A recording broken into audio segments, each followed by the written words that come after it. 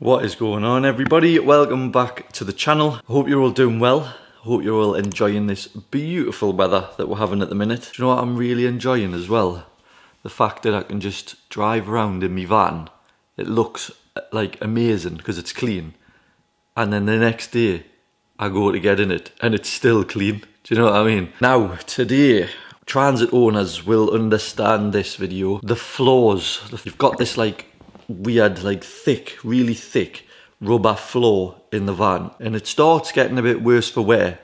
And then it eventually gets holes in it, starts looking a bit tatty, and it just doesn't look great, in my opinion. I've been meaning to do this for quite a, for the last few weeks. Today is the day. Now my van's a daily driver, if you didn't already know. I use it every single day and it doesn't really take a beating as such. You know I mean? It's not like abused or anything, but I'm in and out all the time. You know, I'm in boots, I'm in trainers, I'm at the beach, I'm at the countryside, I'm on farms. I'll, I'll stop listing things off now where I go, but you get the idea, right? Basically, floor in this van, it sees everything pretty much. It sees the lot. Now, it's actually not in bad shape, the floor in my van. It's, it's quite good but I want to keep it that way. And I thought, do you know what? An easy way to sort this out is to just buy some mats. So that's exactly what I did. But I didn't just buy any mats, did I? I went on eBay, good old trusty eBay, and I bought possibly the cheapest mats that I could find, purely for educational purposes, not because I'm a cheapskate. Well, so anyway, yeah, the, the cheapest mats that I found, I think they were like 20 quid, these mats. Now, these mats that I've bought are actually listed as crew cab mats. And believe it or not, I've had them for a few weeks and I've not really looked at them. I've not fitted them in the van. I just kind of unpacked them and I chucked them in the van and they've been underneath all my son's bikes and scooters and stuff like that for a few weeks now. We're going to fit them. We're going to see what they look like. The crew cab mats I'm I'm actually expecting them not to fit in the rear because my whole rear of the van is completely custom. So in this video, really, we're going to find out whether or not cheap uh, floor mats are for you, whether they're an alternative to the more expensive ones. But yeah, you guys probably get a gauge if you're looking for some mats for your van. This might help you out a little bit. Enough of me waffling on. Let's get into it.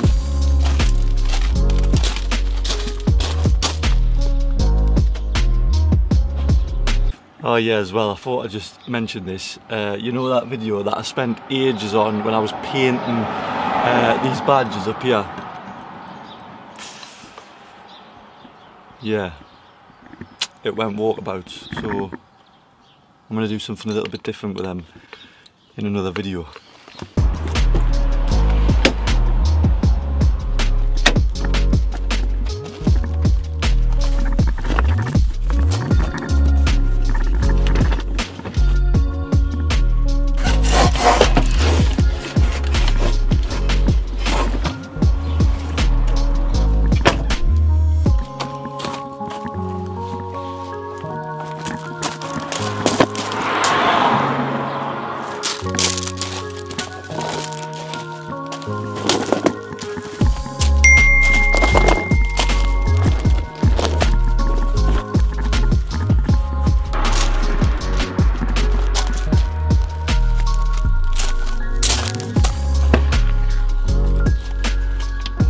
So yeah, down here, obviously on the footwells, is the main areas on all vehicles where the start taking the wear and tear. And as you can see, it's already kind of getting to that point now where your feet go when you're driving, where it's starting to kind of to wear that down, that rubber mat.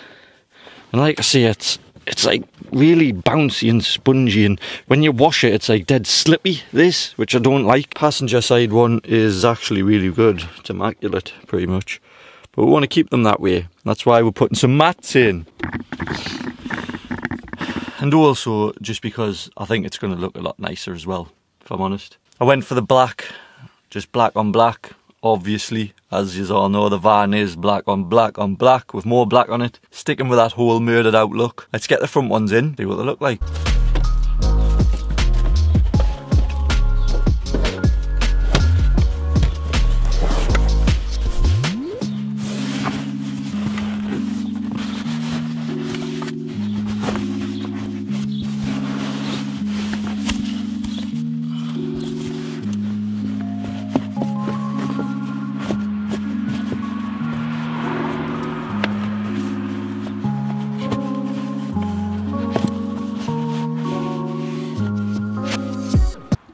So there we go, floor mats in. They're a little bit tight to get in if I'm honest. Um, first impressions, what's the overall fit like? It's good actually. It's good. You can see up here it's it's all quite tight. Um, around here obviously isn't so good. This is going to have to come off, and that's obviously going to have to go flat. I would think on there, as you can see. But I mean, if that was in, it does go under really well around all the little bits that it needs to go around. Up to there, that this side down here fits really nice. Probably just needs to settle a bit. Let's have a look at the driver's side properly around the pedals. So this side again is a bit a bit too tight actually for my liking, but it looks good. It sits nice.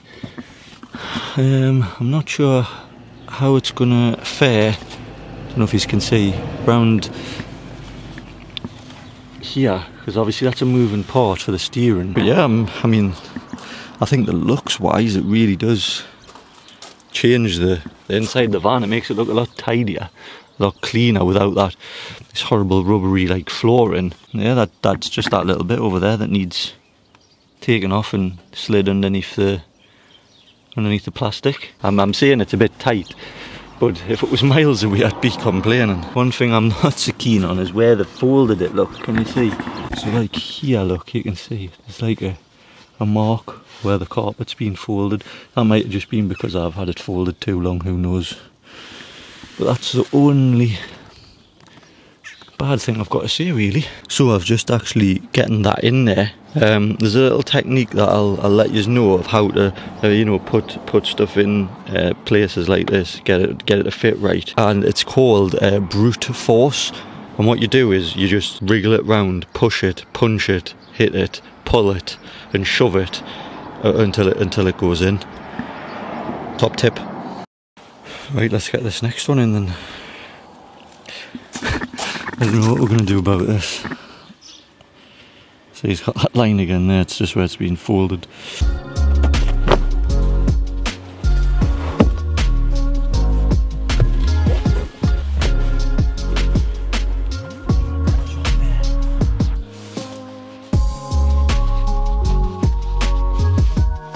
Alright, obviously it's nowhere near where I needed to be because these seats, when I put them in, I put them in as far back as they could physically go so I had as much leg room as possible. And as you can see, this side here is all, excuse that dust on there, but this side here is all like kind of fitted, I guess you'd call that fitted.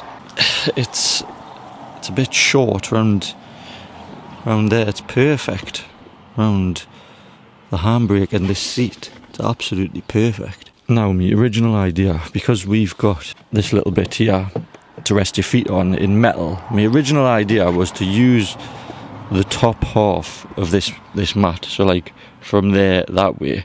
So use all that bit that cuts around there, all right, and then get somebody to cut it off, to cut it off about here, and then put this edging on the bottom. So it ran all the way along.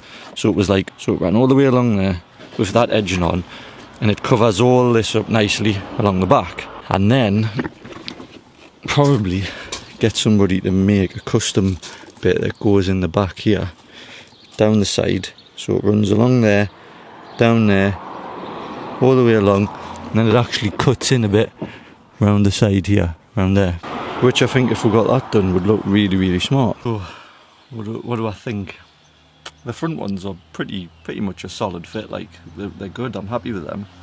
Um, back ones though well, well obviously I didn't expect them to fit because my van in the back is completely custom. This probably will fit a normal transit crew van fine. But I think it's going to work what I was saying. I think uh, if I use the top end which is already cut around all this, the base of the seat and everything if I can get that to fit nicely get someone to cut that off there put some edging on and then create a full custom mat that actually goes in the back here to tidy it all up and then I, you still get the metal bit that I've got in the back here to rest your feet on. The only marks that I've seen on them or imperfections I guess is where it's been folded up. I don't know if that's down to me or whether that was down to like when it was packaged. I mean, for 20 quid though, they're, they're all right, aren't they? The value for money wise, I think they're really good. Um, how long they'd last, you know, if you were actually giving them a bit of stick, like if you were a builder or something like that, how long they'd last, I'm not sure. Personally, I think I went for the right option. Like, I wanted the carpet, I wanted the black. Would you have went for carpet? Would you have went for rubber? Would you have gotten those fancy leather, what they're called, diamond cut ones or diamond stitched or whatever? I think I know a place that can do the the edging and get a, a bit of carpet cut for us. Hopefully I'll be able to get one that's like the same material.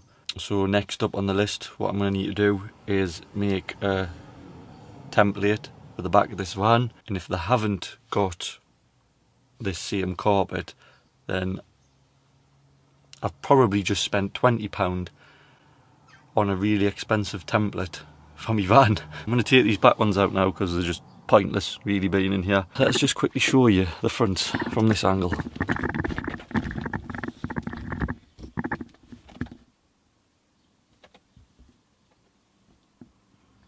Just tidies it up man, just looks smart doesn't it? Just makes it look that little bit, that little bit neater.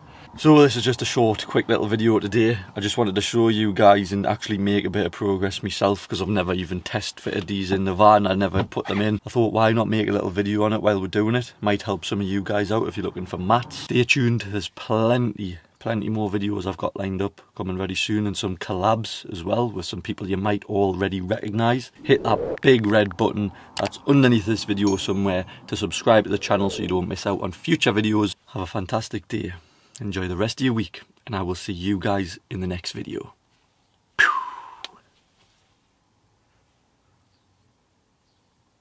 Right. Let's get this back mat out because it's me good to man the beast at the minute.